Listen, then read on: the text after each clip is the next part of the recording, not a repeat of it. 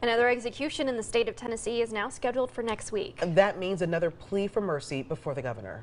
And Edmund Zagorski's attorney is asking Governor Haslam to grant his client clemency and for his sentence to be commuted to life without parole. Zagorski was convicted of killing two Dickson County men back in 1984 while they were trying to sell them marijuana. And the governor has the legal power to stop executions or commute sentences of death row inmates. He's now in the process of interviewing those involved, and he promises to make a decision quickly. As many people as we can, do our research, talk to family members uh, of victims. We're, we're, we're, trying to do all of that. We will try to do what we did before uh, to let people know, you know, we, we will try to not make a last you know, minute decision just so everybody can know at least where we stand. There's obviously still a, a court ruling Zagorski's attorneys also want the Tennessee Supreme Court to stop the execution, this because of lingering questions about the drugs used for lethal injection.